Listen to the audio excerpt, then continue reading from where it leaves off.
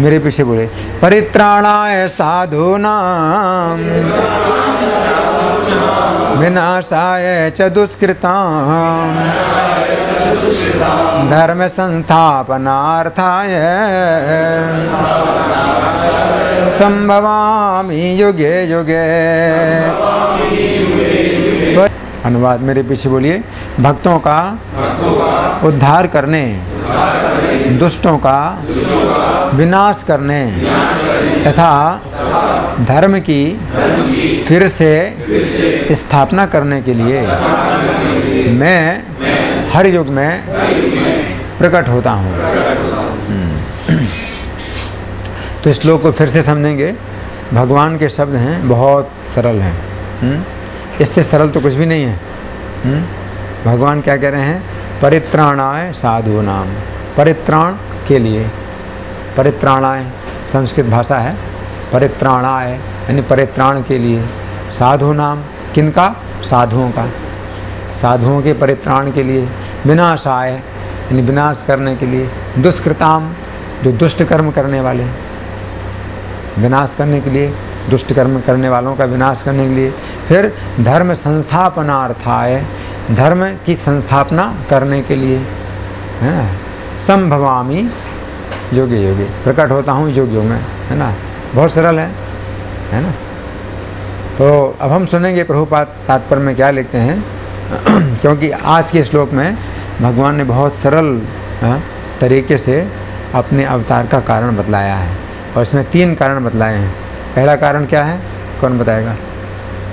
पहला कारण? साधुओं का उद्धार करने। दूसरा कारण? दुष्टों का विनाश करने। तीसरा कारण? धर्म की स्थापना करने के लिए, है ना? और भगवान कहते हैं युग युग में अवतार लेता हूँ है ना? युग युग में लेता हूँ अवतार दिन प्रतिदिन नहीं कहा है कि रोज़ रोज़ अवतार लेता हूँ। ऐसा नहीं कहा है। युग युग में अवतार लेता हूँ ऐसा नहीं कि हर सेकंड में अवतार लेता हूँ। तो भगवान का अवतार इतना सस्ता नहीं है। जैसे लोग बना लेते हैं कि भाई ये भी अवतार हैं, भगवान के ये भी अवतार हैं, हम भी अवतार हैं, आप भी अवतार हैं। भगवान के अवतार इतने सस्ते नहीं हैं, है ना? अब हम सुनेंगे प्रभुपाद तात्पर्य में क्या लिखते हैं।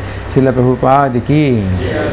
भगवत गीता के अनुसार साधु यानी पवित्र पुरुष कृष्ण भावना भावित व्यक्ति है। तो पहला वाक्य है तात्पर्य का प्रभुपाद के साधु का मतलब क्या है, है? भगवान ने तो कहा कि साधुओं के परित्राण के लिए है ना? लेकिन साधु का अर्थ क्या है? हमें हाँ समझना है ना? साधु का अर्थ क्या है? तो प्रभुपाद कहते हैं कि भगवत गीता के अनुसार साधु कृष्ण भावना भावित व्यक्ति है। कृष्ण भावना भाव ये आंदोलन कृष्ण भावना मृत आंदोलन है। यानी लोगों को कृष्ण भावना भावित बनाने के लिए। इसका मतलब लोगों को साधु बनाने के लिए। अगर साधु आप नहीं हैं तो फिर आप क्या हैं? दुष्कृति। हम्म, अब मोटे तौर में जो है बस दो श्रेणियाँ हैं लोगों की। या तो आप साधु हैं या फिर आप दुष्कृति हैं। है ना? तो दोनों में से कोई एक है है ना? तो ये आंदोलन किस लिए बना है? साधु बनाने के लिए। है? ना लोगों को साधु बनाने के लिए। विनाश आए चाहे दुष्कृताम, विनाश, दुष्कृतियों का विनाश करने के लिए। तो एक तो विनाश भगवान अवतार लेते हैं तो अपने हाथ में हथियार लेते हैं विनाश करने के लिए। लेकिन इस युग में जो है, भगवान जो है अवतार लेते हैं तो दुष्कृतियों का विनाश किस तरह से करते हैं? उनको साधु बना करके। तो जो हरे कृष्ण आंदोलन है, ये दुष्कृतियों का विनाश करता है। कैसे करता है? उनको ही साधु बना देता है। है ना?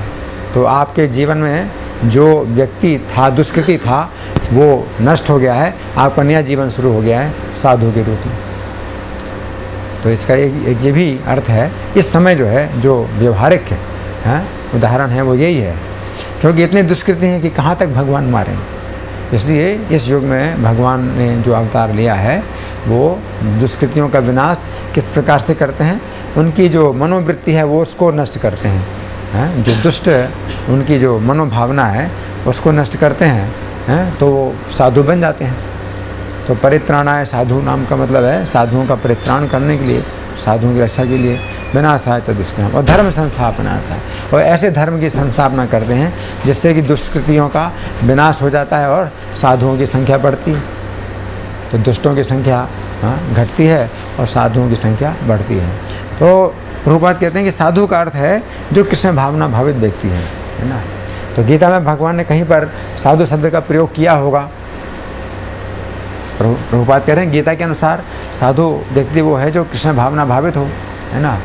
तो अब हमें देखना है कि गीता में भगवान ने कहीं साधु शब्द का तो प्रयोग किया है, है? आप लोगों में से कोई किसी को याद आ रहा है? गीता में कहीं साधु शब्द का प्रयोग हुआ है। साधु रेव समन्तव्य है? सम्यक व्यवस्थित हो है है ना? तो क्या है वो? अभी अपिचेत सुदुराचारो भजते माम ठीक है? तो इस आधार पर प्रभुपात करें, गीता के अनुसार साधु ये। हमारे अनुसार क्या है? अलग अलग व्यक्ति के अनुसार साधु का अर्थ है, हैं? तो कुछ लोग हैं, वो साधु मतलब पहचानते हैं, जितनी लंबी दाढ़ी हो, उतना बड़ा साधु। हैं तो एक सज्जन थे, गुड़गांव में तो हम गाड़ी ठीक कराने गए थे। तो बोले, अरे, आप तो सफ़ा चट रहे थे, आप लोग तो सफ़ा चट रहे थे। तो आप कैसे साधु हैं? तो उनका मतलब कहना है कि हम लोग शेविंग करते हैं तो हम साधु नहीं हैं। साधु जो है, उसको कहते हैं, जो किसी लंबी दाढ़ी हो जितनी लंबी दाढ़ी, उतना बड़ा साधु, है ना? तो हमने कहा, इससे कुछ फ़र्क नहीं पड़ता है, हैं? साधु की तो वाणी से पहचाना जाता है कि साधु, कौन साधु है, कौन असाधु है है ना? हम्म? इससे नहीं होता है फ़र्क। तो कुछ लोगों को विचार ये भाई साधु का मतलब ये है?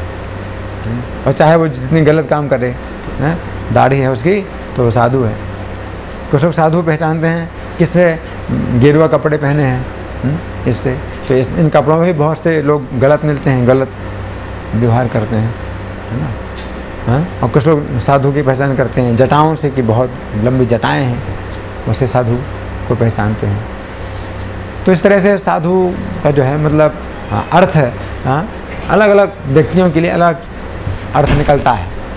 लेकिन यहाँ भगवान जब कह रहे हैं कि साधुओं का परित्राण करने के लिए मैं अवतार लेता हूँ हाँ तो भगवान के हाँ साधु का अर्थ क्या है? भगवान ने जब साधु शब्द का प्रयोग किया तो उसका अर्थ क्या है?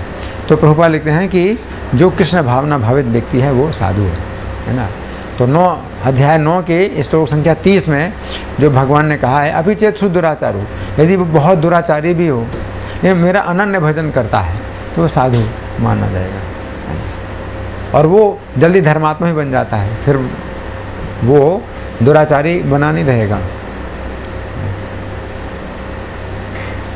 यहाँ भगवान ये कह रहे हैं कि दुराचार में कोई अगर भजन कर रहा हो तो वो साधु। लेकिन भजन में दुराचार करे तो उसको नहीं साधु कहेंगे।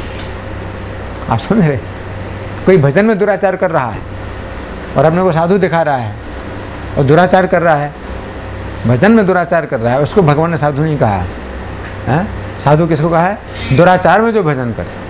दुराचारी है लेकिन भजन शुरू कर दिया। लेकिन भजन हाँ में लगा है और दुराचार शुरू शुरू कर दे। वो नहीं है साधु। है? ना इसलिए हम लोग निंदा करते हैं ऐसे लोगों की जो साधु दिखाते हैं अपने को और फिर जो है, है दूसरे तरह के काम करते हैं। हम्म, या छिप करके करते हैं या कुछ ना दिखावा करते हैं साधु बनने का। तो उनके लिए भगवान ने साधु नहीं कहा। जो साधु बनने का दिखावा करते हैं। जो दिखाई देते हैं, दुराचारी हाँ और कृष्ण का अरण्य भजन करते हैं। वो भजन का दिखावा नहीं करते हैं। फिर भजन करते हैं। तो वो साधु हैं। लेकिन जो हाँ साधुता का दिखावा करते हैं, भजन का दिखावा करते हैं और करते हैं दुराचार तो वो साधु नहीं क्योंकि फिर भगवान ने कहा भी। अभी अभी रुको अभी बाद तो अभी मैं जो बता रहा था वो फिर दिमाग से पॉइंट निकल जाता ना। तो मैं क्या बता रहा था?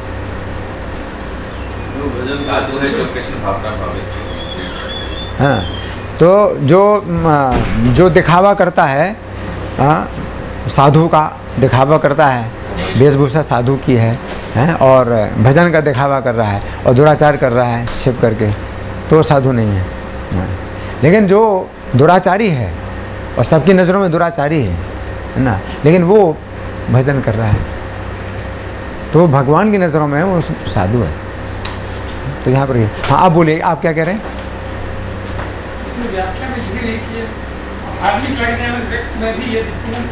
हाँ हाँ हाँ धन्यवाद।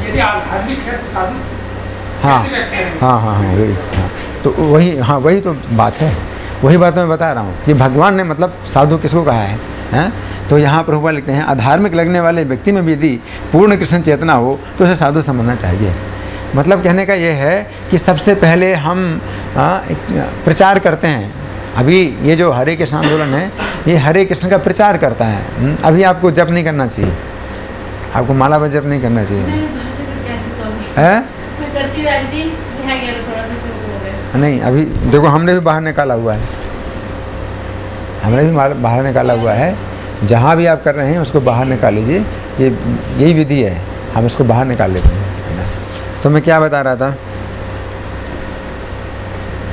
हम जो प्रचार करते हैं ये हरे कृष्ण प्रचार की संस्था है।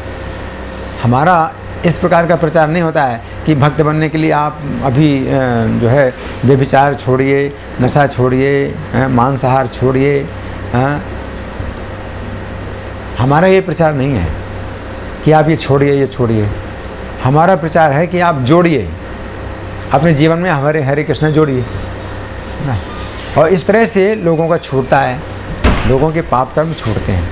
है ना तो जो प्रभुपात लिखते हैं अधार्मिक लगने वाले व्यक्ति में भी यदि पूर्ण कृष्ण चेतना हो तो उसे साधु समझना चाहिए अधार्मिक लग रहा है, है?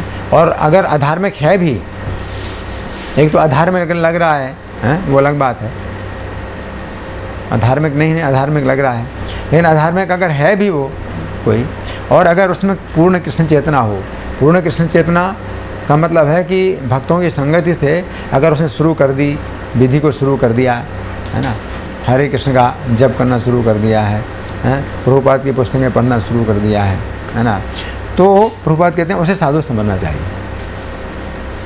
तो वो उस, उसकी जो है रक्षा शुरू हो गई। वो उसकी रक्षा जो है निश्चित है। हालाँकि अभी वो पाप कर्म में लगा हुआ है लेकिन तो भी उसकी रक्षा निश्चित है, क्योंकि उसने, उसकी भक्ति शुरू हो गई। तो उसने भक्ति शुरू कर दी। तो वही भगवान गीता में बता रहे हैं कि अभी जेतु दुराचार हो होगी बहुत ही दुराचारी हो और मेरा अनन्य भजन करे। अनन्य भजन का मतलब क्या है कि उसने कृष्ण की शरण ले ली है? कि मैं दुराचारी हूँ। हे कृष्ण, अब आप मेरी रक्षा कीजिए, मुझे अपनी सेवा में लगाइए। तो हरे कृष्ण मंत्र का जप करना हाँ एक प्रकार से प्रार्थना है। कि मुझे अपनी सेवा में लगाइए। और इस प्रार्थना में ये भी भावना है कि मैं आपकी सेवा नहीं कर सकता मेरे पास शक्ति नहीं आपकी सेवा करने की। और माया ने मुझे अपनी सेवा में लगाया हुआ है और मैं इस तरह से बंधा हूँ माया की सेवा में कि मैं छूट नहीं सकता। तो अगर किसी के अंदर सच्ची भावना है हाँ, कि मुझे अपनी सेवा में लगाइए तो वो साधु है। तो भगवान जो है उसके इस मनोभाव को समझ लेते हैं और उसको साधु घोषित कर देते हैं। ये उसी तरह से है, जैसे पंखा चल रहा है, हैं तो आपने स्विच बंद कर दिया तो भी पंखा चल रहा है है ना? तो सबकी नज़रों में तो पंखा चल रहा है, हैं? लेकिन जो जानकार है, उसकी नज़र में पंखा बंद हो गया है। क्योंकि अब तो पंखा बंद होने ही वाला है। निश्चित है पंखा बंद हो जाएगा, है ना? लेकिन जैसे स्विच बंद किया है तो पंखा चल ही रहा है और आपको पता नहीं चलता है कि वो मतलब बंद होने वाला है। उसी स्पीड से चल रहा है पंखा। तो उसी प्रकार से भगवान जो है उस व्यक्ति को साधु घोषित करते हैं, जो सच्चे हृदय से भगवान को पुकारता है और कहता है कि मुझे अपनी शरण में लीजिए, मुझे अपनी सेवा में लगाइए। और भगवान जो है उसको फिर शक्ति देते हैं कि वो माया से छूट पाता है। या भगवान के संकेत से माया देवी उसको छोड़ देती है तो ये भगवान की माया है। तो वो माया से छूटेगा और भगवान की सेवा में आ जाएगा। तो वो चीज़ जो है हाँ, निश्चित है।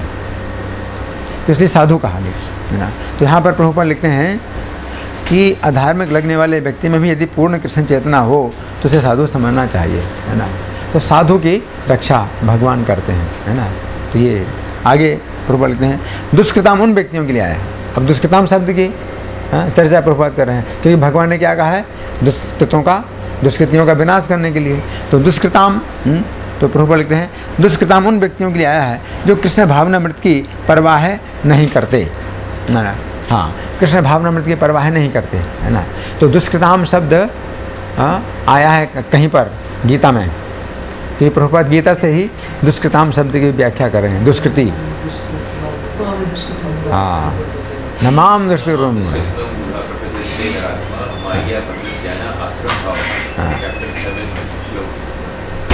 पंद्रह। ठीक है? तो इसी अध्याय में श्लोक संख्या पंद्रह में भगवान कहते हैं कि नमाम दुष्कृतो मूढ़ा प्रबद्यंते कि दुष्कृति लोग जो है मेरी शरण में नहीं आते। तो एक ही परिभाषा है दुष्कृति की गलत काम करने वाला। गलत काम करने वाला वही व्यक्ति है जो कृष्ण के शरण में नहीं आता है। बाकी जितने भी गलत काम हैं जितने भी गलत काम हैं ना कोई अगर कर रहा है लेकिन कृष्ण की शरण अगर लेता है, है तो वो साधु है। तो वो साधु है, है? क्यों? क्योंकि उसने कृष्ण की शरण ली है तो क्षिप्रम भगवती धर्मात्मा, वो जल्दी धर्मात्मा बन जाएगा तो इसी प्रकार से पंखा चल रहा है, लेकिन मैं कहता हूँ पंखा बंद हो गया। तो मुझे पता है स्विच बंद हो गया, है ना? उसी प्रकार से भगवान जो है दुष्कृताम, दुष्कृति शब्द का जो प्रयोग कर रहे हैं, उनके लिए कर रहे हैं जो कृष्ण के शरण में नहीं आते। और चाहे वो दिखाई दें अच्छे, उनमें सब प्रकार के अच्छे गुण हैं। लेकिन वे कृष्ण के शरण में नहीं आते हैं तो वे क्या होंगे? दुष्कृति हो जाएँगे। हुँ? हम्म? एक बंगाली प्यार है जिसमें बताया गया है कि सूची होए, मुची होए। सूची? सूची होए, मुची होए, यदि कृष्ण तजी। और मुची होए, सूची होए, यदि कृष्ण तजी।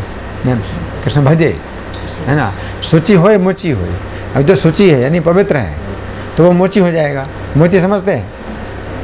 मोची जो है, जूता बनाने वाले। हाँ अपवित्र। मोची यानी चमार, अपवित्र। तो जो पवित्र है, वो अपवित्र हो जाता है। हाँ? यदि कृष्ण तजे, हरे कृष्ण का त्याग करता है, कृष्ण की शरण नहीं लेता है। और मोची होए, सूची होए, यदि कृष्ण भजे। और जो मोची ही, अपवित्र है तो वो पवित्र हो जाता है, अगर कृष्ण का भजन करता है। हुँ? तो यहाँ पर पवित्र अपवित्र की बात है, साधु का मतलब पवित्र और दुष्कृति का मतलब अपवित्र, है ना? तो यहाँ पर प्रभुपाल लिख रहे हैं कि दुष्कृताम उन व्यक्तियों के लिए आए जो कृष्ण भावनामृत की परवाह नहीं करते। ऐसे दुष्कृताम या उपद्रवी मूर्ख तथा अधम व्यक्ति कहलाते हैं। उसी श्लोक में है, भगवान ने कहा नमाम दुष्कृत मूढ़ा प्रपद्यंते निराधमा। मूढ़ा तो यहाँ प्रभुपाल लिखते हैं, मूर्ख। ऐसे दुष्कृताम या उपद्रवी लोग कैसे हैं? मूढ़ हैं। मूर्ख, संस्कृत में मूढ़ बोलते हैं, हिंदी में हम लोग मूर्ख बोलते हैं। तो वे मूर्ख कहलाते हैं और अधम, नराधमा, मूढ़ा, नराधमा। तो पहले प्रकार के दुष्कृति हैं मूढ़ है और दूसरे प्रकार की दुष्कृति है नराधम, अधम, है ना? फिर तीसरे हाँ आगे प्रभु भले ही वे सांसारिक शिक्षा से विभूषित क्यों ना हो, सांसारिक शिक्षा से विभूषित हैं वो। इसलिए कृष्ण के शरण में नहीं जाते कि हम तो बहुत शिक्षित हैं। हम्म, ये कृष्ण की भक्ति तो उनके लिए है जो अशिक्षित लोग हैं जो पिछड़े हैं हम तो बहुत उन्नत हैं तो हमारे पास बहुत शिक्षा है। हैं? हम तो एम्स में पढ़ाई करते हैं। हम तो बहुत बड़े डॉक्टर हैं जो ज़्यादा बड़े मरीज़ हैं और ज़्यादा दुख में तकलीफ़ में हैं वो करें। हमारे पास सब तरह की दवाइयाँ सब प्रकार का इलाज है। तो हम कृष्ण की शरण क्यों लें? तो जो अपन जिनके पास बहुत शिक्षा है लेकिन कृष्ण की शरण नहीं लेते इसीलिए। तो माया हृत ज्ञान उनको कहा जाए माया हृत ज्ञान। माया के दौरान ज्ञान हरण हो चुका है। किसी भी मामले में शिक्षा में आप लोगों के ऊपर प्रहार नहीं कर रहा हूँ कि, कि कोई भी किसी प्रकार की शिक्षा का अगर कोई बल पा कर के अगर वो कृष्ण के शरण में नहीं आता है तो माया हृत ज्ञान है वो। माया के द्वारा से ज्ञान हरण हो चुका है है ना? तो इसलिए प्रभु कहते हैं, सांसारिक शिक्षा से विभूषित क्यों ना हो, है ना? आगे, इसके विपरीत यदि कोई शत प्रतिशत कृष्ण भावनामृत में लगा रहता है तो वह विद्वान या सुसंस्कृत ना भी हो। अब शत प्रतिशत कृष्ण भावनामृत लगा रहता है है ना? अगर उसको बताया गया है कि हरे कृष्ण का जाप करना है प्रभुपाद के ग्रंथ पढ़ना है या कुछ सेवा उसको बताई जाती है कि मंदिर में झाड़ू लगाना है, है या कुकिंग करना है प्रसाद बनाना है भक्तों की सेवा करना है इस कार्य में लगा है तो वो अगर विद्वान या सुसंस्कृत ना भी हो? हम्म, तो भी फिर भी वह साधु माना जाता है फिर भी साधु है ना तो इस बात पर नहीं है कि भाई हम बहुत विद्वान हैं है ना शिक्षित है बहुत शिक्षित हैं। हम्म, आगे। जहाँ तक अनिश्वरवादियों का प्रश्न है भगवान के लिए आवश्यक नहीं कि वे इनके विनाश के लिए उस रूप में अवतरित हों जिस रूप में वे रावण तथा कंस का वध करने के लिए हुए थे। अब यहाँ पर प्रभुपाद जी ये इस बात को उठा रहे हैं कि भगवान ने कहा कि मैं अवतार लेता हूँ हाँ, दुष्टों का विनाश करने के लिए। तो प्रभुपाद इस बात की चर्चा कर रहे हैं कि दुष्टों का विनाश करने के लिए भगवान को हमेशा अवतार लेने की आवश्यकता नहीं है। भगवान तो साधुओं का उद्धार करने के लिए या साधुओं की रक्षा करने के लिए या साधुओं को सुख पहुँचाने के लिए अवतार लेते हैं, लेकिन जो दुष्टों का विनाश कार्य है, वो उसके साथ में हो जाता है। उनको हाँ इसके लिए अलग से अवतार लेने की ज़रूरत नहीं है। तो प्रभुपा लिखते हैं कि भगवान के लिए आवश्यक नहीं कि वे इनके विनाश के लिए उस रूप में अवतरित हों, जिस रूप में वे रावण तथा कंस का वध करने के लिए हुए थे। रावण का वध करने के लिए कौन सा अवतार हुआ? राम का अवतार हुआ। और कंस का वध करने के लिए कृष्ण अवतार हुआ। हाँ? तो प्रभुपा लिखते हैं कि आवश्यक नहीं है भगवान को कि इनका ऐसे दुष्टों का वध करने के लिए भगवान को हमेशा अवतार ही लेना पड़े। क्यों? प्रभुपा लिखते हैं, भगवान के ऐसे अनेक अनुचर हैं जो सुनों का संहार करने में सक्षम हैं। उनके अनुसार तो भगवान अगर अपनी शक्ति प्रदान कर दें तो अपने किसी भी सेवक को भेज सकते हैं क्योंकि भगवान अपने धाम से उतर के आते हैं तो उनके धाम में उनके बहुत सेवक भी हैं तो अपने सेवक को भी शक्ति दे सकते हैं हम्म, आगे। किंतु भगवान तो अपने उन निष्काम भक्तों को तुष्ट करने के लिए विशेष रूप से अवतार लेते हैं जो असुरों द्वारा निरंतर तंग किए जाते हैं। असुर लोग जो है जब भक्तों को तंग करते हैं तो भगवान उनको तुष्ट करने के लिए, उनको सुख प्रदान करने के लिए विशेष अवतार लेते हैं। तो भगवान के अवतार का जो प्रयोजन है, विशेष रूप से भक्तों को सुख प्रदान करना है। आगे, असुर भक्त को तंग करता है, भले ही वह उसका सगा संबंधी क्यों ना हो। यद्यपि प्रहलाद महाराज हिरण्य कश्यपु के पुत्र थे, किंतु तो भी वे अपने पिता द्वारा उत्पीड़ित थे। तो ये ये जो है दुष्कृति सबसे मतलब ऊँची श्रेणी के हैं। चार प्रकार के दुष्कृति भगवान ने बताए हैं पंद्रहवें श्लोक में। तो मूढ़ है, नराधम है माया हृत ज्ञान, आसुरी भावाश्रित और ये एक से एक बढ़ कर के हैं। तो चौथी, चौथा जो दुष्कृति है, वो सबसे ऊँची सबसे ऊँची स्थिति में है, दुष्कृति। तो आसुरी भाव आश्रित। जो आसुरी भाव का आश्रित है तो वो देख नहीं सकता किसी को जो मतलब कृष्ण का भजन कर रहा है।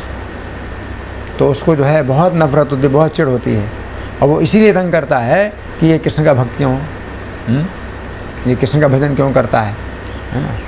तो वो जो है सबसे ऊँची श्रेणी का है? हाँ, क्या है? दुष्कृति है है दुष्कृति है। तो जैसे हिरण्य कश्यपु हिरण्य कश्यपु सबसे ऊँची श्रेणी का दुष्कृति है हैं? अपने पुत्र को इसलिए तंग कर रहा था कि ये कृष्ण का भक्त क्यों बन गया है ना? तो यदि भी प्रहलाद महाराज हिरण्य कश्यपु के पुत्र थे, किंतु तो भी वो अपने पिता के द्वारा उत्पीड़ित थे। इसी प्रकार कृष्ण की माता देव की, यद्यपि कंस की बहन थी, किंतु उन्हें तथा उनके पति वसुदेव को इसलिए दंडित किया गया था, क्योंकि उनसे कृष्ण को जन्म लेना था। तो जैसे ही कंस को आकाशवाणी हुई, आकाशवाणी के द्वारा कंस को पता चला कि जिस बहन को तुम उसकी शादी के अवसर पर ससुराल लेकर के जा रहे हो उसी के गर्व से जो आठवां पुत्र है, वो तुम्हारी हत्या करेगा। तो इसी बात पर जो है, कंस देवकी का शत्रु हो गया। और उसने सबसे पहले क्या विचार किया कि इसकी ही, हत्या कर दूँ? इसकी ही हत्या कर दूँ? हाँ? ना रहेगा बाँस, ना बजेगी बांसुरी। है ना? तो इसकी ही हत्या कर दूँ, है ना? लेकिन जब वसुदेव जी ने वचन दिया हाँ कि भाई तुम इतने वीर हो और वीरों के लिए तो ये बड़ी कलंक की बात है कि एक बहन है स्त्री है और फिर शरणागत है तुम्हारी द्वारा इसका पालन पोषण हाँ, होना चाहिए हैं हाँ, उसकी तुम हत्या कर रहे हो तो, तो बहुत बड़ा दोष बनेगा तुम्हारा हाँ लेकिन हाँ इतना मैं कह देता हूँ कि जितने पुत्र होंगे तुम्हारे हाथ में सौंप दूँगा। तो इस तरह से बसदेव जी ने टालने की कोशिश की कि किसी प्रकार से मृत्यु को टाला जाए। तो लेकिन कंस कितना द्वेषी है, कितना दुष्ट है है ना? तो यहाँ पर प्रभुपा लिखते हैं कि इसीलिए दंडित किया गया कि उनसे कृष्ण को जन्म लेना था। अतः भगवान कृष्ण मुख्यतः देवकी के उद्धार के लिए प्रकट हुए थे, कंस को मारने के लिए नहीं। तो देवकी को उन्होंने दर्शन दिया, देवकी को उन्होंने उनका भय दूर किया। है ना? और फिर बहुत सी लीलाएँ की भगवान ने हम्म, देव के वसुदेव के पुत्र के रूप में बहुत सी लीलाएँ की। तो ये आगे प्रभु लिखते हैं। किंतु ये दोनों कार्य एक साथ संपन्न हो गए। दोनों कार्य कौन कौन से हैं? पहला कार्य था? देव। हाँ कंस का संहार है ना? तो एक साथ संपन्न हो गए। अतः ये कहा जाता है कि भगवान भक्त का उद्धार करने तथा दुष्ट असुरों का संहार करने के लिए विभिन्न अवतार लेते हैं। आगे। कृष्णदास के विराजकृत चैतन्य चरितमृत के निम्नलिखित श्लोकों मध्य लीला अध्याय बीस प्यार संख्या दो सौ तिरसठ दो सौ चौंसठ से अवतार के सिद्धांतों का सारांश प्रकट होता है। हम्म, क्या है? सृष्टि हेतु ए मूर्ति प्रपंच अवतरे से ईश्वर मूर्ति अवतार नाम धरे। मायातीत परव्यो में सबार अवस्थान विश्व अवतरी धरे अवतार नाम। अवतार, अथवा ईश्वर का अवतार भगवत धाम से भौतिक प्राकट्य हेतु होता है। तो अवतार का मतलब है अवतरण। हम्म? उसको अंग्रेज़ी में बोलते हैं डिसेंडिंग है ना? तो अवतार का मतलब है जो उतरना। है ना? तो भगवान उतरते हैं तो कहाँ से उतरते हैं? अपने धाम से उतरते हैं। तो भगवान के जितने भी अवतार हैं तो उनके अलग अलग धाम हैं। है ना? और सब वैकुंठ हैं, अलग प्रकार के वैकुंठ हैं। हम्म। तो यहाँ पर लिखते हैं ईश्वर का वो विशिष्ट रूप जो इस प्रकार अवतरित होता है अवतार कहलाता है ऐसे अवतार भगवत धाम में स्थित रहते हैं। जब वे भौतिक सृष्टि में उतरते हैं तो उन्हें अवतार कहा जाता है। तो जितने ही अवतार होते हैं नरसिंह अवतार तो नरसिंह देव का भी एक वैकुंठ है। उसमें वो उसी रूप में रहते हैं। राम अवतार होता है तो भगवान राम का भी एक अलग हाँ, स्थान है। जहाँ वो इसी रूप में लीलाएँ करते हैं। तो ऐसे जितने भी अवतार हैं, उनके अपने धाम हैं आध्यात्मिक जगत में उनके अपने लोक हैं। आगे। अवतार कई तरह के होते हैं। यथा पुरुष अवतार गुणावतार लीला अवतार, सत्यावेश अवतार, मनवंतर अवतार और युगावतार। इन सब का इस ब्रह्मांड में क्रमानुसार अवतरण होता है। किंतु भगवान, कृष्ण आदि भगवान हैं और समस्त अवतारों के उद्गम हैं। इस बात को समझना। कि भगवान क्या हैं? आदि हैं। हम्म? ये बात पुष्ट हुई है ब्रह्म संहिता में, जहाँ प्रत्येक श्लोक के अंत में गोविंद मादि पुरुषम तमहम भजामी। हम्म? ये पंक्ति रिपीट होती है हर बार। हाँ? ये दोहराई जाती है पंक्ति, अंतिम पंक्ति, हर श्लोक की अंतिम पंक्ति में आता है गोविंद आदि पुरुषम तम हम भजामी। यानी आदि पुरुष गोविंद का मैं भजन करता हूँ, है ना? तो उसमें ये बताया गया कि नाना अवतार मकरोध भुवनेश किंतु हम्म? कैसा है वो? नाना अवतार मकरोध भुवनेश किंतु है? कृष्ण कृष्ण स्वयं संभत परमा गोविंद मादि लेकिन शुरू की शुरू की पंक्ति क्या है? रामादि मूर्ति सुयथा रामादि मूर्ति सुकला ने मैंने तिष्ठन नामना अवतार मकरोध भुवनेशु किंतु। रामादि मूर्ति सुकला ने मैंने तिष्ठन। तो राम नरसिंह आदि जो भगवान के अवतार होते हैं, उनमें अपनी कलाओं को सीमित करके भगवान ने अवतार लिए। किंतु कृष्णा स्वयं सम अमृत लेकिन कृष्ण पूर्ण जो परिपूर्णतम भगवान कृष्ण है, कभी स्वयं भी प्रकट होते हैं।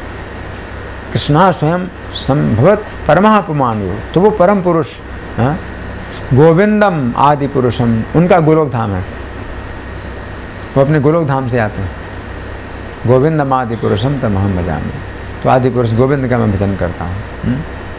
तो वैसे किसी अंत, किसी अवतार में और गोविंद में कोई अंतर नहीं है?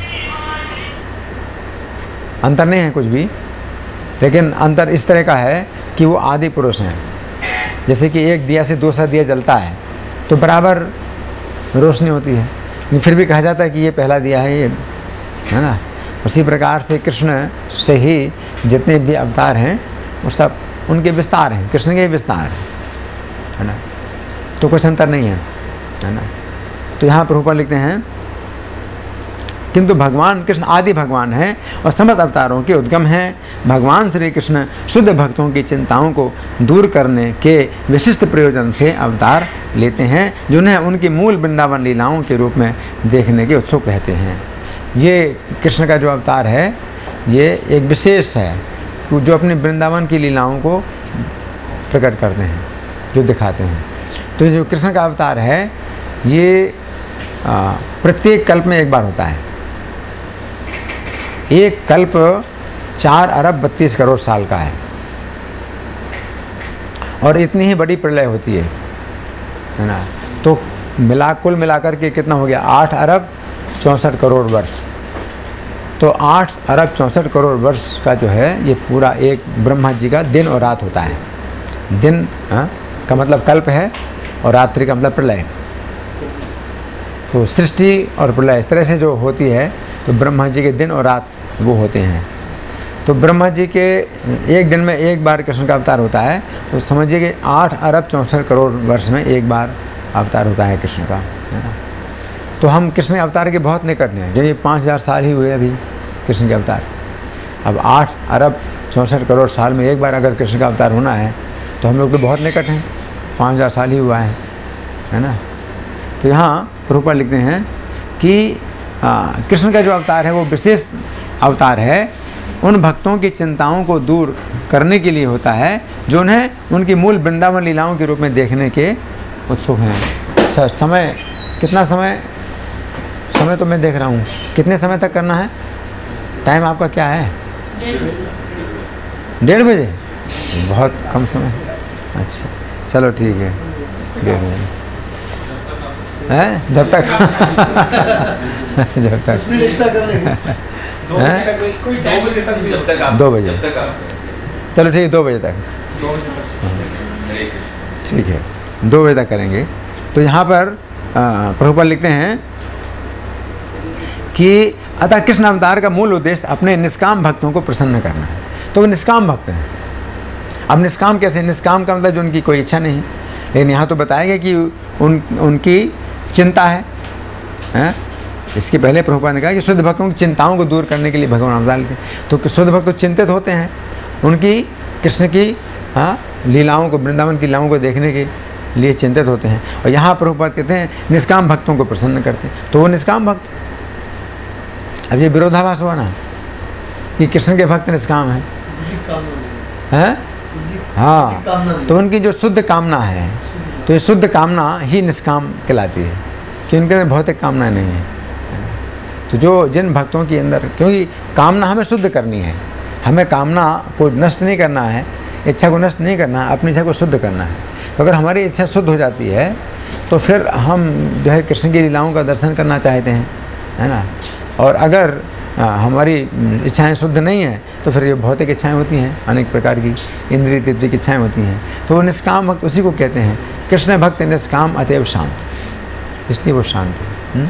भुक्ति मुक्ति सिद्धि कामी सकल अशांत तो कोई भुक्ति कामी है हम्म? भौतिक संसार की इंद्रिय तृप्ति में लगे हैं, कोई इच्छा करते हैं। और भुक्ति मुक्ति, कुछ मुक्ति कामी है। मुक्ति कामी और जन्म मरण से छूटना चाहते हैं हाँ? तो उनकी उनकी कामना हालाँकि काफ़ी मतलब उस से ज़्यादा अच्छी है, ज़्यादा शुद्ध है कि भाई जन्म मरण से छूटना चाहते हैं, मुक्ति कामी। लेकिन तो भी वो शुद्ध नहीं, है, वो भी फिर भी कामना है उनकी और अशांत है वो, है ना। भुक्ति, मुक्ति, सिद्धि काम। और कुछ लोगों की सिद्धि की इच्छा होती है, सिद्धि की, सिद्धियाँ पान करके वे जो है अपना प्रभाव जमाएँगे और लोग जो है उन्हें भगवान कहेंगे, भाई, ये तो भगवान है। देखो क्या चमत्कार कर देते हैं तो ये तीनों कामी है। तीनों कामी हैं, तीनों के अंदर कामनाएँ हैं और अशांत हैं। कृष्ण भक्त निष्काम अतएव शांत। लेकिन कृष्ण भक्त निष्काम है, इसलिए वो शांत है। तो निष्काम का मतलब उसकी इच्छा होती है कृष्ण की वृंदावन लीलाओं का दर्शन करने की। आगे प्रभुपा लिखते हैं, भगवान का वचन है कि वे प्रत्येक युग में अवतरित होते हैं। अब ये बात प्रभुपा ने उठाई। श्लोक में क्या है? संभवामी युगे युगे। युग युग में। तो भगवान ने योग युग कहा है तो फिर ऐसा नहीं है कि भाई इतना सस्ता है कि भाई किसी को भी अवतार मान लो ऐसा नहीं है हैं तो प्रभुपा देखते हैं कि भगवान का वचन है कि ये प्रत्येक युग में अवतरित होते रहते हैं इससे सूचित होता है कि कलयुग में वे कलयुग में भी अवतार लेते हैं हम्म? तो ये जो कलयुग है ये चल रहा है हम्म? तो अभी पाँच हज़ार हाँ, साल हुए हैं कलयुग के और कलयुग की आयु हाँ, कितनी है? चार लाख बत्तीस हज़ार साल। कलयुग की आयु चार लाख बत्तीस हज़ार साल है। अभी पाँच हज़ार साल हुए हैं कलयुग को हाँ? तो कलयुग में भी भगवान अवतार लेते हैं हम्म? इससे सूचित होता है। क्यों? कि भगवान ने कहा योगे योगे। तो हर युग में अवतार लेते हैं तो कलयुग में भी अवतार लेते हैं आगे। जैसा कि श्रीमद् भागवत में कहा गया है कि कलयुग के अवतार भगवान चैतन्य महाप्रभु हैं, जिन्होंने संकीर्तन आंदोलन के द्वारा कृष्ण पूजा का प्रसार किया और पूरे भारत में कृष्ण भावनामृत का विस्तार किया। ये श्रीमद् भागवत में बताया गया श्रीमद् भागवत में एक श्लोक है, कृष्ण वर्णम तुषा कृष्णम सांगोपांगास्त्र पार्षदम यज्ञ संकीर्तन प्राय रजंत ही सुमेधसा। कि कलयुग में भगवान की जो पूजा होती है वो किस रूप में होती है? जो कृष्ण वर्णम, यानी कृष्ण का वर्णन करते हैं। तुषा कृष्णम, लेकिन उनका जो रंग है, वो कृष्ण नहीं है। तो कृष्ण नहीं तो उल्टा, कृष्ण वर्ण नहीं है, श्याम वर्ण नहीं है तो क्या है? गौर वर्ण। तो यहाँ पर संकेत है चैतन्य महाप्रभु के लिए कि जो कृष्ण का वर्णन करते हैं, लेकिन कृष्ण का रंग नहीं है, कृष्ण रंग नहीं है। है ना? किस रंग के हैं? अकृष्ण।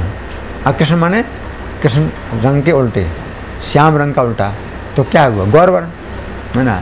तो सा कृष्णम सांगोपांगास्त्र पार्षदम, अपने अंग उपांग अस्त्र पार्षदों के साथ में होते हैं हैं? यज्ञ संकीर्तन पैर यजंती ही सुमेधसा तो संकीर्तन यज्ञ के द्वारा जो बुद्धिमान लोग हैं, उनकी पूजा करते हैं, है ना? तो ये जो संकेत है, श्रीमद् भागवत में बताया गया कि कलयुग में भगवान का अवतार इस प्रकार का होता है कि गौर वर्ण का अवतार है और कृष्ण का वर्णन करते हैं। है ना? तो वो लक्षण चैतन्य महाप्रभु में है। तो प्रभुपाद ये हाँ बात जो है, पुष्ट कर रहे हैं कि श्रीमद् भागवत में जो संकेत दिया गया है, वो चैतन्य महाप्रभु के ही लिए हाँ ये पुष्ट हो रहा है हाँ।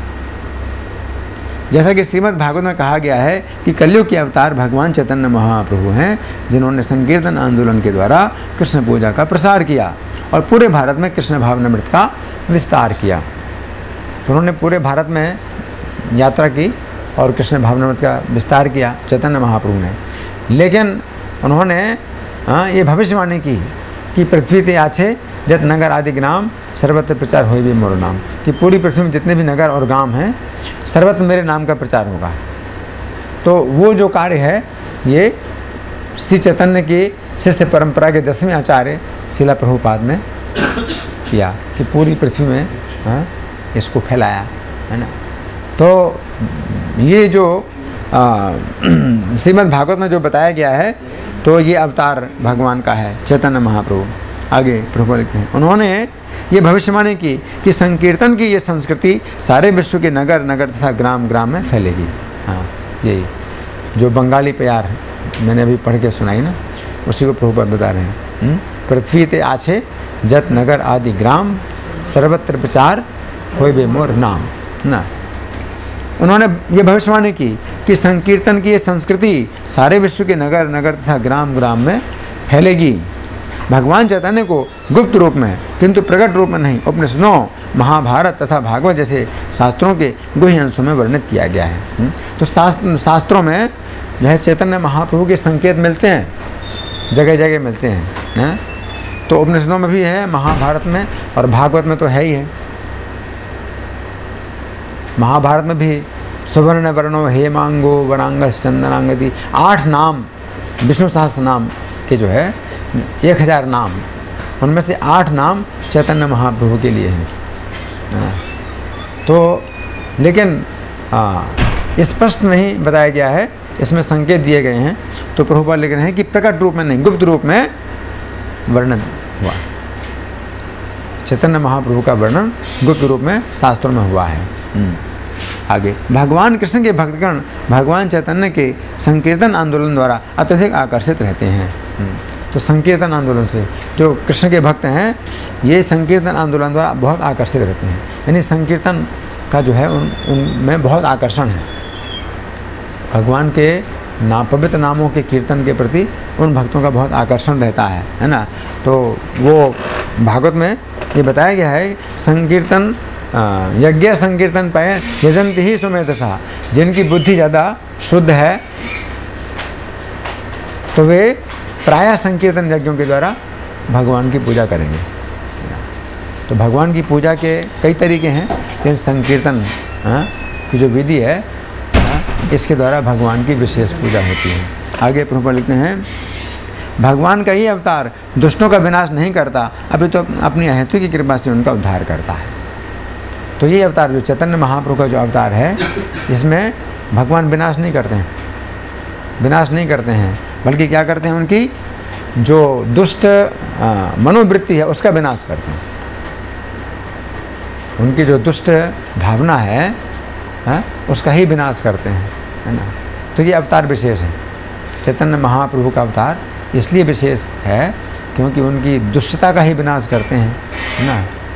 तो यहाँ पर प्रभुपात का तात्पर्य समाप्त हो गया है। अब आ, कुछ आ, मैं इसमें से सुनाऊँगा। ये श्री भगवान ने कहा ये छठवीं पुस्तक है जिसमें इस श्लोक पर जो है चर्चा हुई है और कई पेजों में चर्चा हुई है इस श्लोक पर।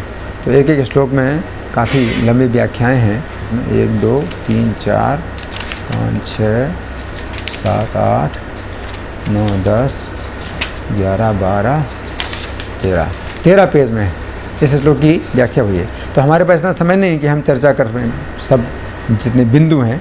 लेकिन संस्थापना, इसमें बताया धर्म संस्थापना अर्थ है तो इसकी हमने चर्चा की है। संस्थापना शब्द का एक अन्य अर्थ क्या है? जो इस समय बहुत व्यवहारिक है। और इस समय जो ये इस आंदोलन के रूप में फैल रहा है। संस्थापना शब्द का एक अन्य अर्थ है संस्था बनाना। संस्थापना का एक अन्य अर्थ है संस्था बनाना। तो यहाँ पर भगवान कह रहे हैं, धर्म संस्थापना अर्थ है अर्थात मैं इस पृथ्वी पर एक धार्मिक संस्था का निर्माण करने के लिए प्रकट होता हूँ। भगवान चैतन्य ने संकीर्तन आंदोलन फैलाया ना? यदि हम गहराई से विचार करें तो हम समझ सकते हैं कि हरे कृष्ण आंदोलन ही ऐसी धार्मिक संस्था है, जो संपूर्ण पृथ्वी में हरिनाम तथा भागवत धर्म का प्रचार कर रही है। श्री चैतन्य महाप्रभु ने जो भविष्यवाणी की थी कि संपूर्ण पृथ्वी में जितने नगर तथा ग्राम हैं सर्वत्र हरि नाम का प्रचार होगा उस भविष्यवाणी को यही हरे कृष्ण संस्था ही पूरा कर रही। तो धर्म संस्था अपना आता है। तो धर्म का मतलब है संकीर्तन धर्म हम्म, हरे कृष्ण धर्म है और इसकी संस्था जो है जो भगवान ने बनाई है इसलिए उनको कहा जाता है संकीर्तन के पितरों। जो संकीर्तन है? हाँ, ये जो आंदोलन है तो इसके एकमात्र पिता भगवान चैतन्य तो उन्होंने संस्था उनकी संस्था है, है? हाँ, चैतन्य महाप्रभु ही एकमात्र पिता हैं। इस संकीर्तन आंदोलन के पिता हैं। हम्म, ये संस्था जो है हाँ, हालाँकि प्रभुपाद हम्म, संस्थापक आचार्य हैं है ना? लेकिन प्रभुपाद तो आचार्य हैं इस संस्था के। लेकिन पिता कौन है? चैतन्य महाप्रभु है ना? धर्म संस्थापना अर्थ है। धर्म का मतलब संकीर्तन धर्म? संकीर्तन ही धर्म है। है ना? और इसकी संस्था के जो पिता हैं, जो उत्पन्न करने वाले, हैं, है? जो हैं पिता हैं, वो श्री चैतन्य हैं। है ना? तो और चूँकि उन्होंने इसको जन्म दिया है, इस संस्था को जन्म दिया है, इसलिए संस्था फैल रही है। ये संस्था पूरे विश्व में फैल रही है। इसमें भगवान श्री चैतन्य का जो संदेश है आ, हाँ, इसको हम शुद्ध बनाए रखें। इसमें कुछ मिलावट ना करें तो संस्था फैलती रहेगी और लोग हाँ, शुद्ध होते हैं। उनका जीवन बड़ी जल्दी पवित्र होता है। हम श्री चैतन्य का जब संदेश देते हैं तो उसमें अपनी कोई मिलावट नहीं करते हैं तो ये बहुत जल्दी काम करता है।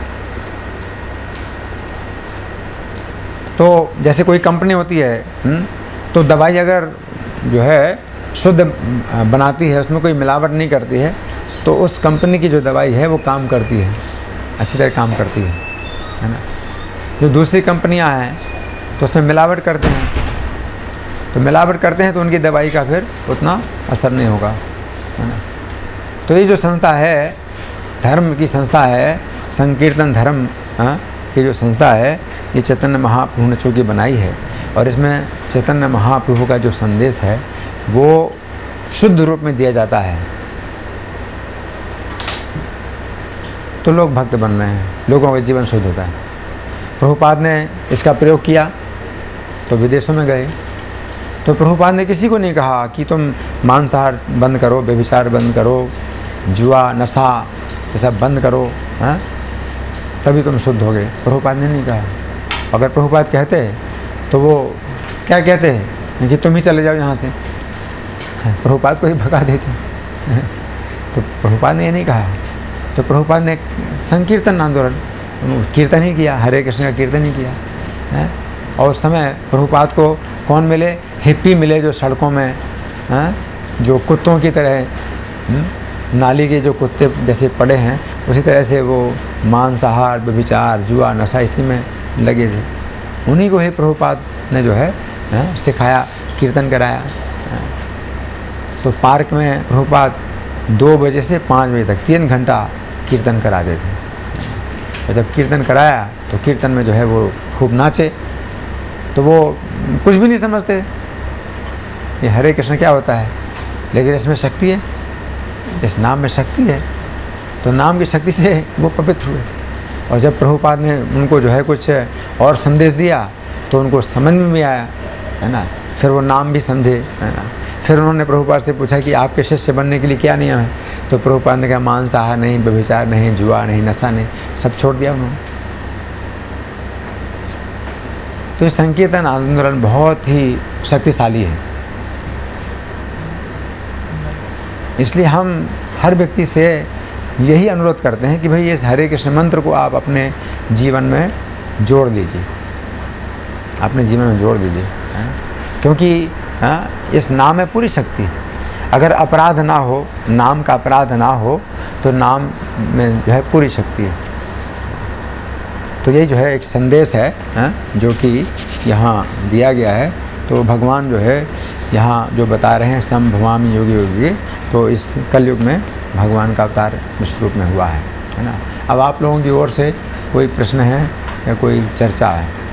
या मैं प्रश्न करूँगा हम्म। ये विषय बहुत रोचक है। हाँ जी। बोलिए।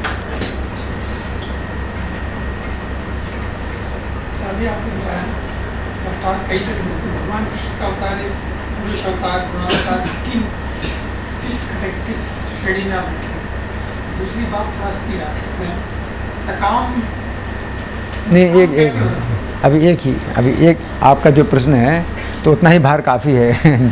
दूसरा प्रश्न मत करिए। आपका प्रश्न है कि भगवान कृष्ण का जो अवतार है, वो किस कैटेगरी में है? है ना? हाँ ठीक है। ये किस कैटेगरी में है?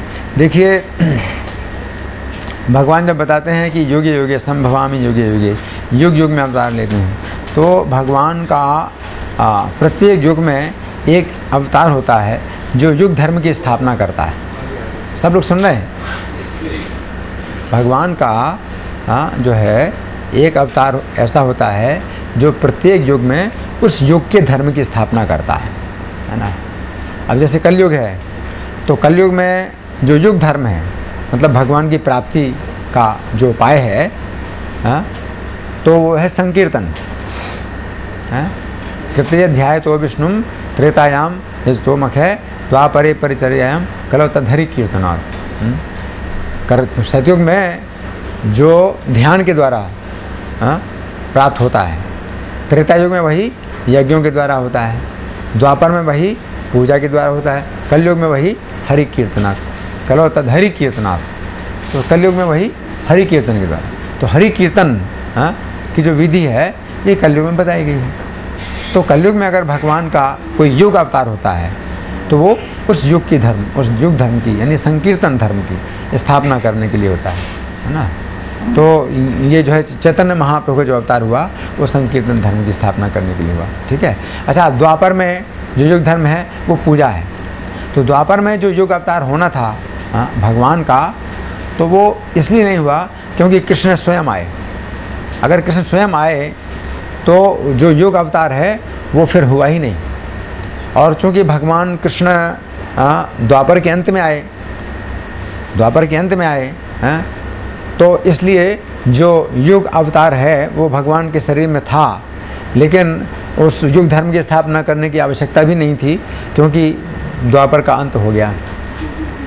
द्वापर का अंत हो तो द्वापर में जो युग अवतार है, वो भगवान का हुआ ही नहीं। और जो युग धर्म है हाँ तो उसकी स्थापना की कोई आवश्यकता भी नहीं थी। लेकिन भगवान कृष्ण कलयुग के प्रारंभ होने से पहले, यानी द्वापर के अंत में भगवान ने अवतार लिया। तो ये कलयुग के लोगों के लिए बहुत सौभाग्य की बात है कि भगवान कृष्ण का अवतार हाँ कलयुग के पहले ही हुआ, द्वापर के अंत में हुआ। और वही जो है जो श्री चैतन्य महाप्रभु आए तो उन्होंने कृष्ण प्रेम दिया। कृष्ण प्रेम दिया। तो कृष्ण के अवतार में कृष्ण प्रेम नहीं मिला लोगों को, बहुत कम लोगों को कृष्ण प्रेम मिला। लेकिन चैतन्य महाप्रभु के अवतार में वो कृष्ण प्रेम उन्होंने जो है खूब लुटाया। जब कोई चीज़ लुटाई जाती है तो फिर ये नहीं देखा जाता कौन योग्य है, कौन योग्य नहीं। तो ऐसे मतलब लुटाया। तो ये एक विशेष उदारता है। जो चैतन्य महाप्रभु की विशेष अवतार है भगवान कृष्ण की विशेष उदारता है। तो ये हज़ार बार जो चतुर्युग बीतते हैं चार युग उसको एक चक्र बोलते हैं युग चक्र साइकिल। तो हज़ार बार जब चारों युग बीतते हैं तो जो है ब्रह्मा जी का एक दिन होता है जो कल्प कहलाता है है ना? तो उसमें से ये जो द्वापर युग हुआ आ, इसको कैसे कहेंगे? कि सातवें मनमंत्र का अट्ठाईसवां द्वापर। एक मनमंत्र में इकहत्तर बार चार युग बीतते हैं, है ना? तो सातवां मनमंत्र चल रहा है। तो छः छः मनमंत्र हो गए। छः में आप इकहत्तर से गुणा करिए। इकहत्तर में छः से गुणा करिए। छः कम छः सात बयालीस। चार, हैं? चार सौ छब्बीस। चार सौ छब्बीस हुए ना? तो चार सौ छब्बीस वो और अट्ठाईस और जोड़ दीजिए। चार सौ चौवन, है ना? तो हज़ार बार जो चारों युग बीतते हैं, उनमें से चार सौ चौवनवा जो द्वापर था। यानी पहला सतयुग, फिर पहला त्रेता, फिर पहला द्वापर, फिर पहला कलयुग, फिर दूसरा सतयुग, दूसरा त्रेता, दूसरा द्वापर और दूसरा कलयुग। ऐसे करते करते चार सौ चौवनवा जो सतयुग आया, फिर चार सौ चौवनवा त्रेता आया, फिर चार सौ चौवनवा द्वापर आया, उसके अंत में भगवान कृष्ण का अवतार हुआ। तो ये विशेष समय है। ये बहुत विशेष समय है। इस में जो है मतलब कृष्ण का जो अवतार हुआ तो ये बहुत बड़ी मतलब ये चीज़ है, जो कि उन्होंने अपनी वृंदावन लीला प्रकट की है ना तो ये कुछ गहरी बातें हैं है ना? तो हमें समझना इस तरह से। और कोई प्रश्न किसी? हाँ जी। साधु ऋषि मुनि और भिक्षु इन चारों का तात्पर्य क्या है? अंतर क्या है? देखिए ऐसे हम प्रश्न नहीं लेते हैं। ऐसे प्रश्न नहीं लेते हम। हमें तो कुछ मतलब जो हमारी विषय वस्तु है, अभी हमने जो चर्चा की है, इस पर आप प्रश्न कर सकते हैं, क्योंकि हमें व्यवहारिक मतलब जाना है व्यवहार में, है। आपने कोई बात अपने दिमाग में सोच करके रखी है कि भाई हम इस तरह से प्रश्न का उत्तर दें तो वो हमारा काम नहीं है, कि आपने अपने दिमाग में क्या सोच करके रखा है। हम तो जो है, जो हमारा विषय है, आपने कितना सुना, आपने कितना उस पर विचार किया, उस पर आधारित होता है। अगर आप ऐसे प्रश्न कर रहे हैं तो इससे पता चलता है आपने, हमने जो कुछ बोला है, वो आपने कुछ सुना ही नहीं। आपने उस पर कोई विचार ही नहीं किया। आप मंथन करिए। हमने आपको कुछ बताया, उस पर आप मंथन करिए। और तब आप प्रश्न करते हैं तो हमें खुशी होती है कि भैया आपने मंथन किया, आपने विचार में कुछ किया है। है ना? तो इस आधार पर हम जो है प्रश्न ले रहे हैं आपसे। साधु है तो साधु की हमने चर्चा कर ली। साधु की चर्चा हमने कर ली। है ना?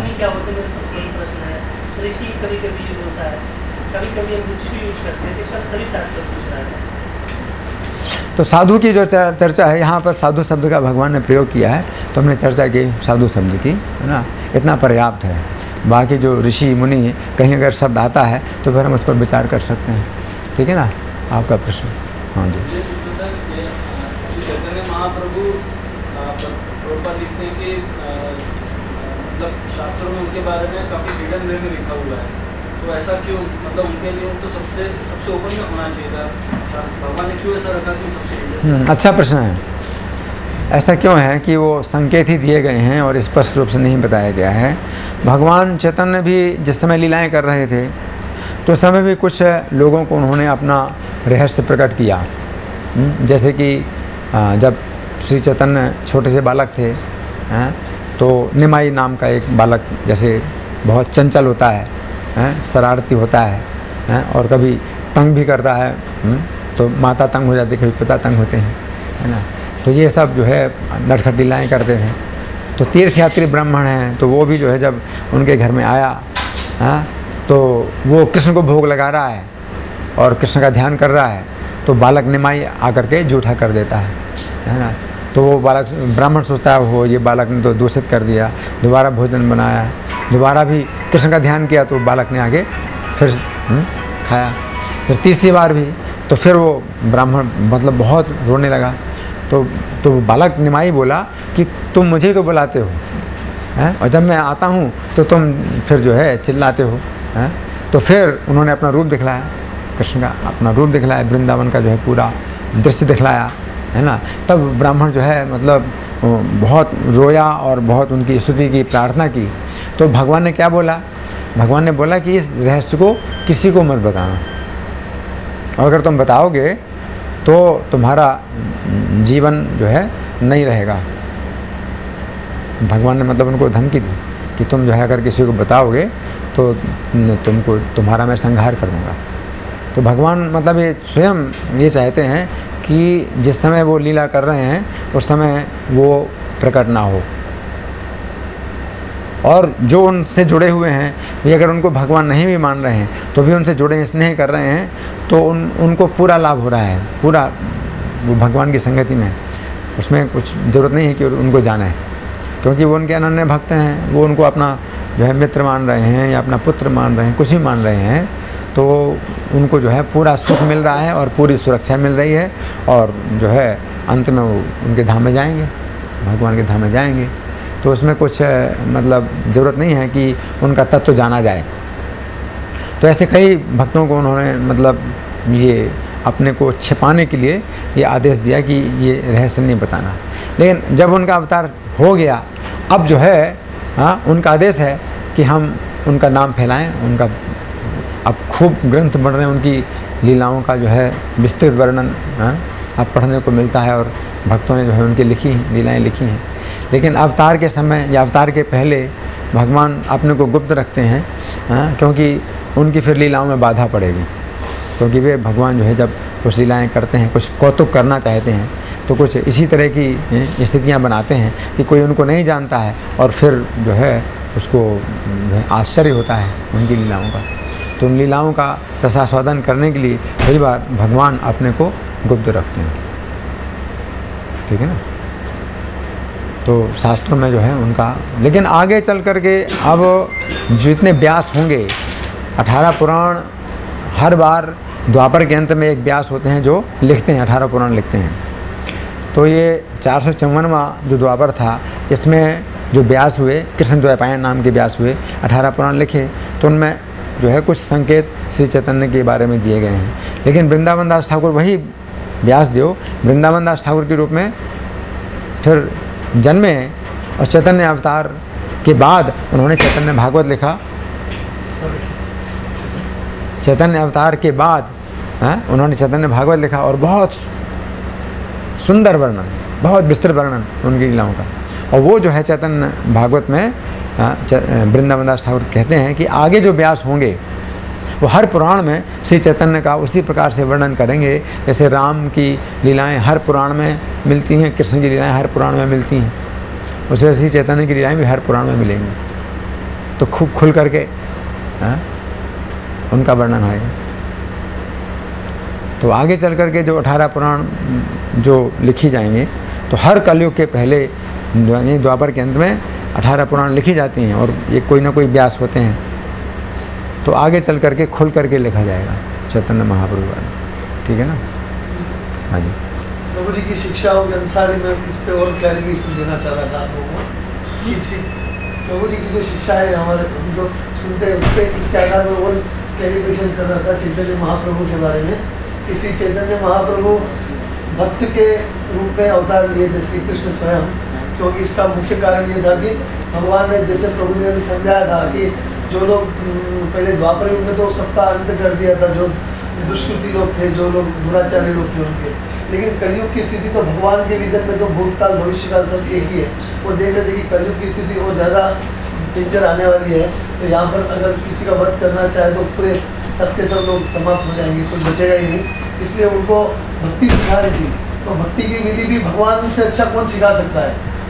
इसलिए उनको उन्होंने भक्ति की पराकाष्ठता सिखाई कि किस तरह से भक्ति की कर, करनी चाहिए। जैसे भगवत गीता में है ना सर्वधर्म परित्यागम माम एकम शरणम हो जाए कि भगवान की शरण कैसे मतलब लेनी चाहिए। तो ये विधि भगवान ने तो केवल सिद्धांत के रूप में बोल दिया लेकिन प्रैक्टिकल इम्प्लीमेंट नहीं बताया कि किस तरह से करनी चाहिए। तो श्री चैतन्य महाप्रभु सन्यासी के रूप में भक्ति करने की विधि बताते हैं और वो 24 घंटे श्री कृष्ण की सेवा में रहते हैं। हम लोग भक्ति के बारे में क्या सोचते हैं कि भक्ति भी एक लिमिटेड करनी चाहिए, आधा घंटा करना चाहिए, सब सब चीज़ बैलेंस होनी चाहिए। ऐसे हमारी ये धारणा होती है। जनरल लोग बोलते हैं कि कहीं भी बात है लेकिन श्री चैतन्य महाप्रभु ऐसे आचार्य हैं, वो भक्ति के, भगवान अपने आप को नहीं दिखाया अगर वो भगवान बनाना, जब भी बन जाते थे उसी समय तो अभी तक तो नकली भगवान पहले इतने हैं।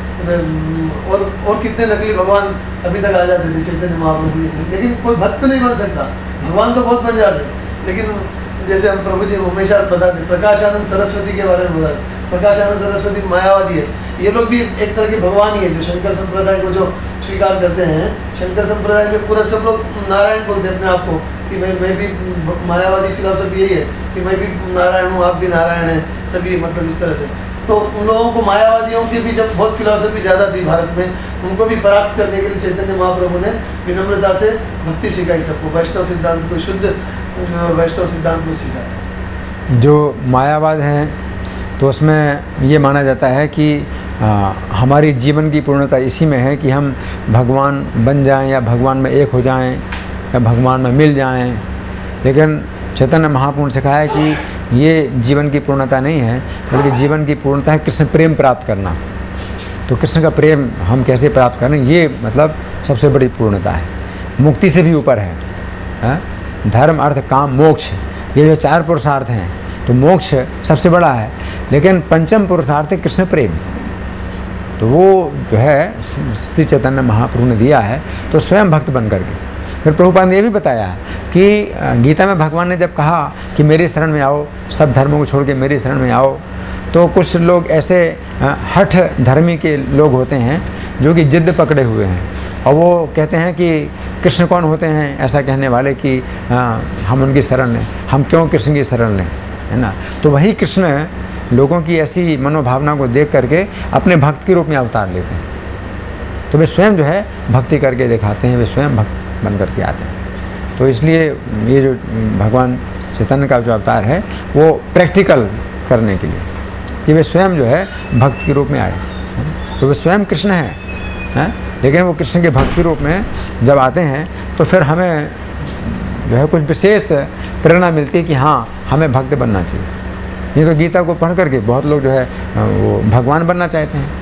और वो कहते हैं कि भाई भगवान ने गीता बोली थी तो हम भी गीता बोल रहे हैं, हम भी भगवान हैं कहते हैं।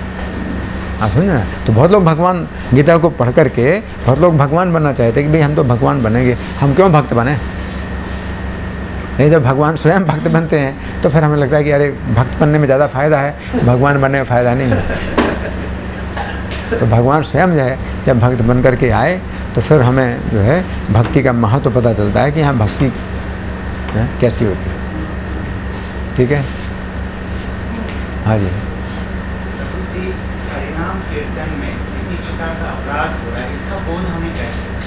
हो बहुत अच्छा है। देखिए हम लोग दस अपराध रोज़ बोलते हैं जो हमारे मंदिर में मंगल आरती का कार्यक्रम होता है उसमें दस नाम अपराध हम डेली बोलते हैं। तो वे जो दस नाम अपराध हैं तो ये आपको आ, बोलना चाहिए। ये लिखित रूप में मिल जाएँगे। हुँ? ये लिखित रूप में मिल जाएँगे। हमारे मंदिर में मिल जाएँगे। भक्ति रसामृत सिंधु जो ग्रंथ है, उसमें भी मिल जाएँगे। चैतन्य महाप्रभु शिक्षा में तो उसमें भी मिल जाएँगे।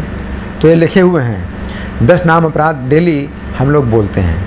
और दस नाम नाम अपराध अगर आप बोलते हैं तो आपके मन में विचार आता है कि आप अगर नहीं भी समझ पाते हैं कि अपराध है?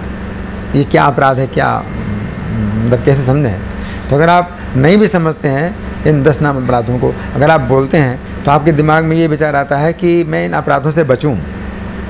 और अनजाने में भी, हैं, ये दस अपराध में से कोई भी अपराध मेरे से ना हो। तो ये भावना अगर आपके अंदर आती है कि मेरे से अपराध ना हो तो इससे आपकी बड़ी रक्षा होगी। तो आप नाम जब करते हैं तो नाम में पूरी शक्ति है। नाम में पूरी शक्ति है भगवान की।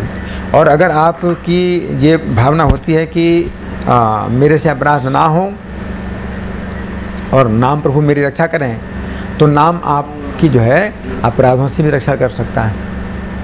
आप समझ रहे इसलिए दस नाम बड़ा हम लोग डेली बोलते हैं हैं? जिनमें से पहला अपराध है उन भक्तों की निंदा करना जिन्होंने नाम के प्रचार में अपना जीवन समर्पण किया है है ना? तो इस तरह से दस अपराध हैं ये। तो अब इनकी चर्चा तो हम नहीं कर सकते इतना समय नहीं है। लेकिन दस अपराध आपको मिल जाएँगे लिखे हुए आ, किसी भक्त से भी आप ले सकते हैं। मंदिर में तो डेली हम बांटा करते हैं और आ, हम पर्चे को देख करके पढ़ा करते हैं। दस नाम अपराध हैं। अगर याद ना हो तो आप लिखित रूप में रखिए। आप माला का जाप करते हैं, आपने जैसे नियम बनाया है कि आपने एक आपको एक माला जाप करना दो माला जाप करना है। अगर आपने नियम बनाया है तो उसी प्रकार से आप नियम बनाओ कि दस अपराध भी बोलिए। ठीक है? इन अपराधों से बचना चाहिए। ये भी जो है, उसमें अंत में शब्द आते हैं कि इन अपराधों से बचना चाहिए, ताकि कृष्ण प्रेम शीघ्र इसी के प्राप्त हो सके। तो अगर ये आप बात बोलते हैं तो आपके दिमाग में ये बात आती है कि लक्ष्य जो है मतलब ये है नाम का लक्ष्य ये है। आप ये जो नाम ले रहे हैं कोई ऐसा नहीं है कि भाई बस चल रहा है ऐसा ही और क्या हो रहा है क्या मिल रहा है क्या लाभ हो रहा है क्या लाभ नहीं हो रहा है, है? कुछ पता नहीं है। तो वो जो लक्ष्य है वो आप सामने रख कर के आप नाम लेते हैं और इसमें कोई बाधा ना आए अपराधों की बाधा ना आए। इसके लिए आप जो है आपके मन में ये प्रार्थना पैदा हो तो इसके लिए नाम अपराध बोलने चाहिए। ठीक है ना?